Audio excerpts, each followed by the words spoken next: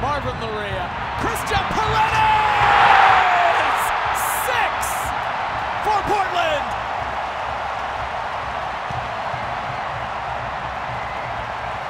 Simply sensational from the Timbers tonight.